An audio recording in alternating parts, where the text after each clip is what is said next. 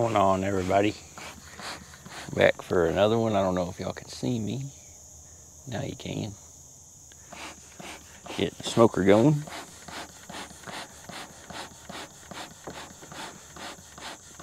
And we are preparing to move some bees for in the morning. The way i move bees with the having the bees on the pallets and moving them with a skid steer and a trailer.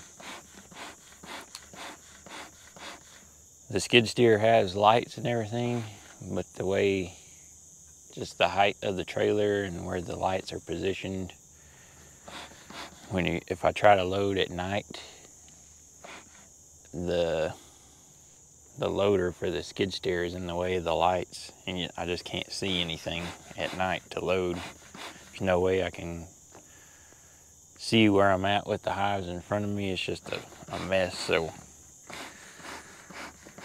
what I've done, what I always do is load first sign of daylight, my first group.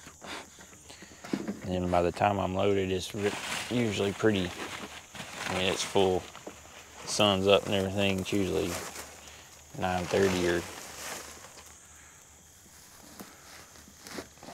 Yeah, usually 8.30 or 9. Depending on how far I gotta travel and everything. But we've been, today's August 7th, or tonight is August 7th. So we're in the middle of summertime. We've had high temperatures in the hundreds and over a hundred for weeks. I don't know how long, probably over two weeks.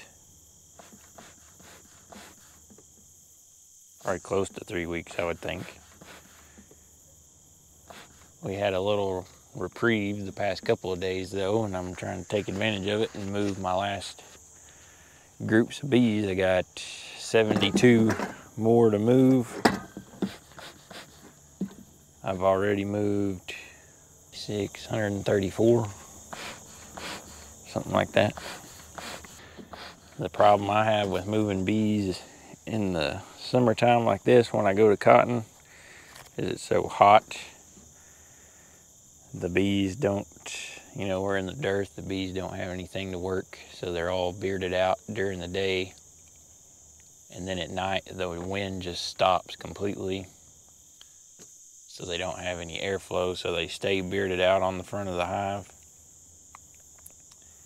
And with me moving them in the daytime, I really need them all inside the hive, so I'm not losing them going down the road. So that's why we're out here tonight. Everybody's at home and most of them are in the box. There's some bearding on the outside.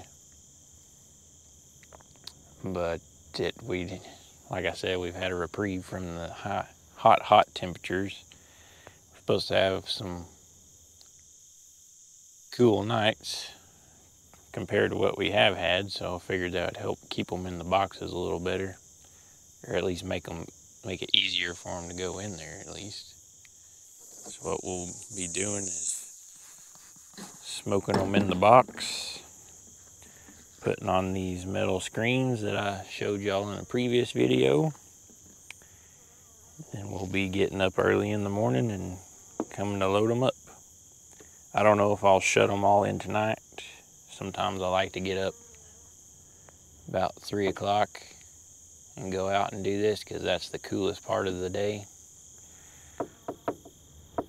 Kind of like it's darkest before the dawn. It's coolest before the dawn too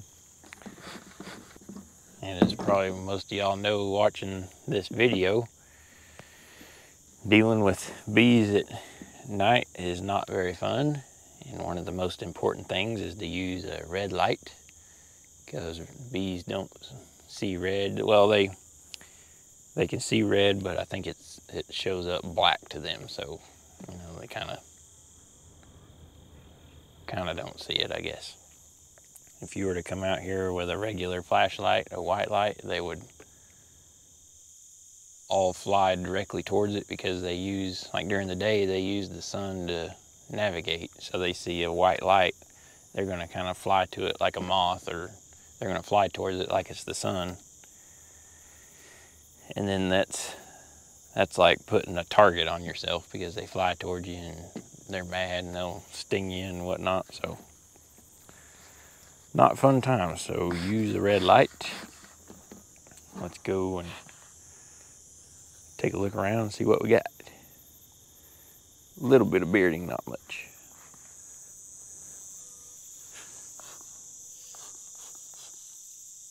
Chunk see there's a little bit of bearding. It ain't too bad, give them some smoke. And they'll start to slowly work back into the entrance while they're doing that and move on to the next one.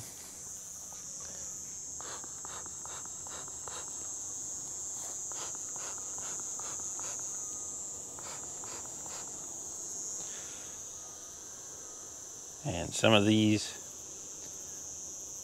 I have the lid moved over to the side so they can get more airflow in this hot weather. I actually had them all like that, but earlier today I came through this yard and put some feed in their feeder. And the ones who weren't bearding too bad, I just went ahead and moved the lid all the way over just to make tonight a little faster. So this one I'll have to close them up in both their entrances. And they like to cluster up under here. Got to make sure and get them in there.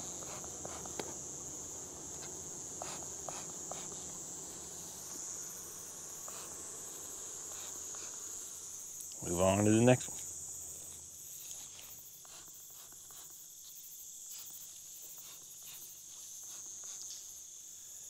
Sometimes this can take a while.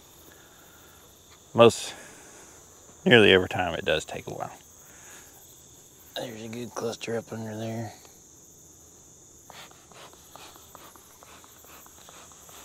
Usually make several rounds going through, smoking them come back around, smoke some more, you just make slow progress. That one was bearded quite a bit. Can't see it now with all the smoke.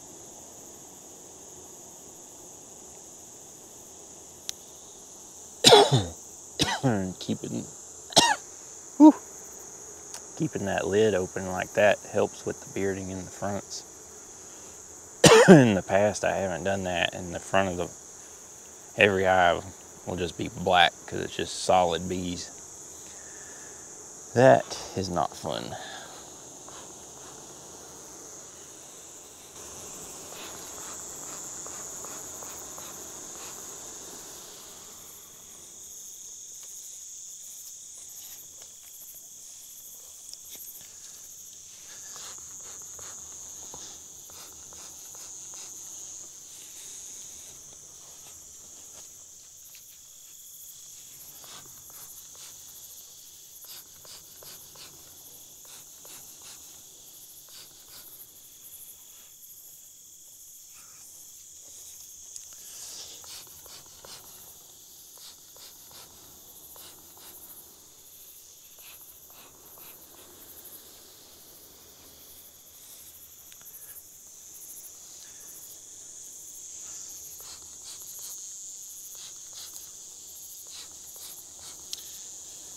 And I use W clips on my pallets.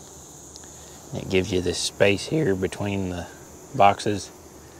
And that can be a downside when you're doing this because when it's hot sometimes, you know, if I have this, these lids moved over for them to get air over here, they'll come out here and they'll cluster in this crack here and that can be a pain to get them out of there. There's always something about bees that is a pain.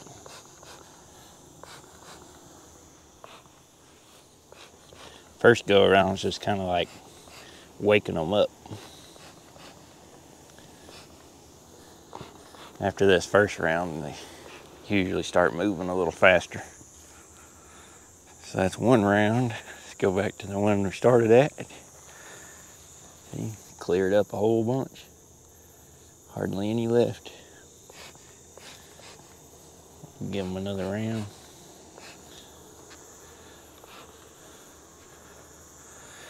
And this one, they had them all clustered under there. They're all gone, except for a handful.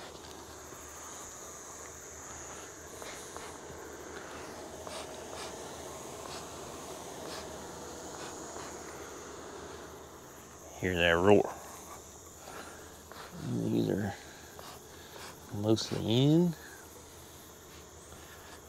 This one had a big cluster. They're pretty much gone.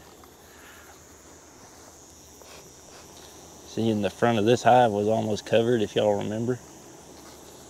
Seeing some of them migrated up here. So they're gonna, they're gonna be a bit of a pain. So I'll shoot some smoke in this gap. See them bees fanning, they're just blowing that smoke. That's crazy. There's not a breath of wind out here. That's all bees work. Look at that. I hope y'all can see that.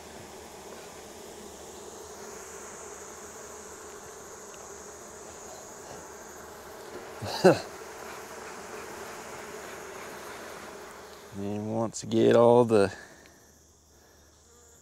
bees inside, or most of them anyway, never, never get all of them. Might be just a handful on the outside, but that's fine with me. Some of them will cling on while we go down the road. Put the moving screens in, these metal screens.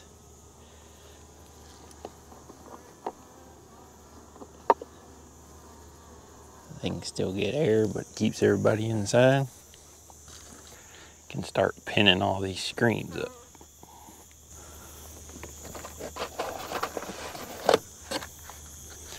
Use these thumbtacks.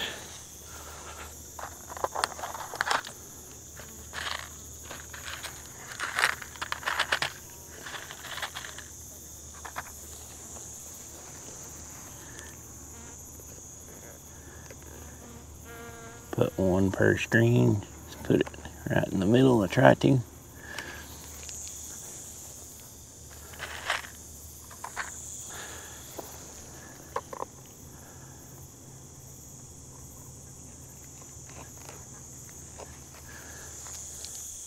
And then that's ready for transport.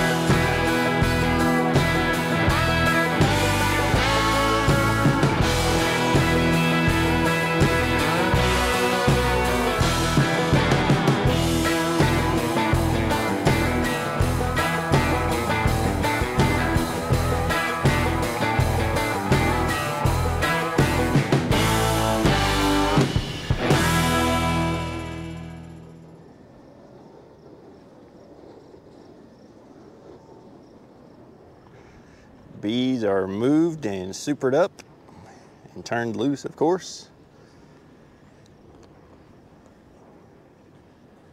We'll see what they do. Still got 24 on the trailer. I didn't put them all here because I've actually got 48 just down the road that I moved here about a week ago. So I got 72 colonies here total on 600 acres of sunflowers. What do y'all think of them sunflowers?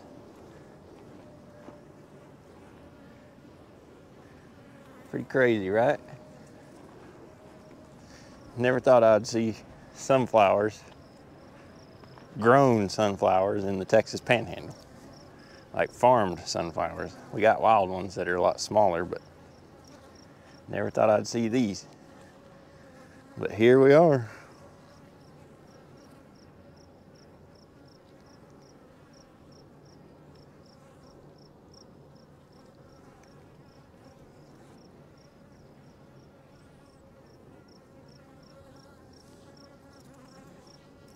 Here's a bee working it. Getting covered in pollen going for that nectar.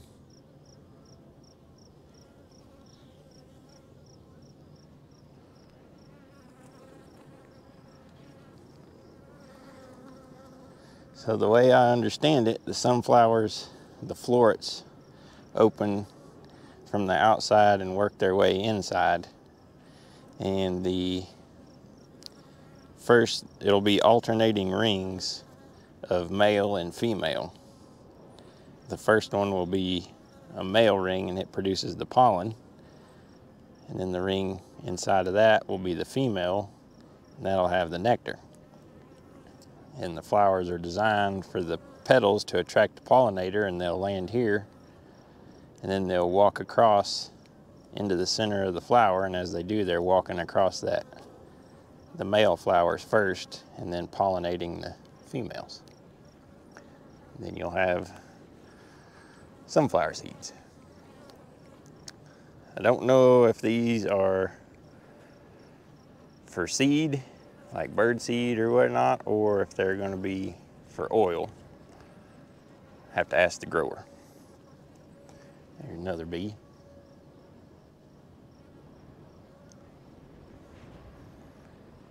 There's another bee.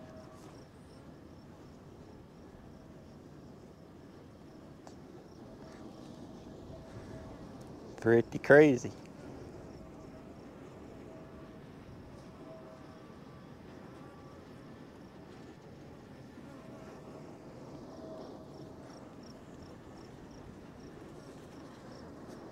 Better document it because who knows if I'll see it again.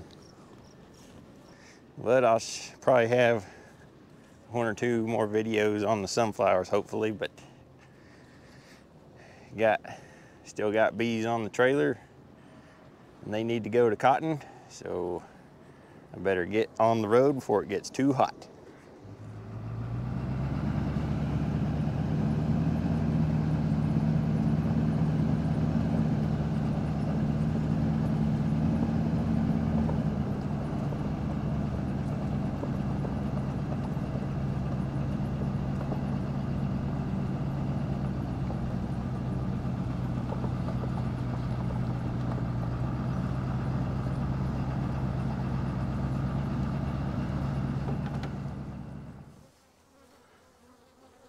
Cotton bees are out, turned loose.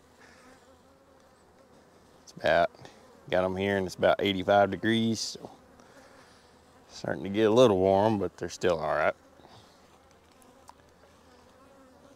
This spot ain't as pretty as the last one, but hopefully it'll produce the same. No cotton over there. There is some up on this hill here. There's a irrigated circle up there. Half of it's cotton and it'll be this closest half is cotton. About 240 acres, I think. And then on the south side of it, a couple more circles. I think within a mile and a half here, there's probably 350 acres of cotton. And it is super late. normally I'd be in a quote unquote normal year, I would be putting bees on cotton in mid July, mid to late July. Here we are August 8th or 9th, I think, and it's not even blooming yet. Still got a little while before see the first blooms, I think. Our spring was so terribly wet that most of the cotton in the country got drowned out. And then by the time it dried out enough, it was way too late to plant. So it all got replaced with milo or sorghum. So I had slim pickings this year to try to find cotton. And with it being so late, I don't know what the flow is going to be like, if there will be one. It's going to be the middle of this month, and then the peak of the flow would be like the beginning of September. I don't know. We'll just have to see. Won't know till it's all over with. So I guess we'll just have to leave them here. Gonna get some supers on them and try to be patient and just see what happens.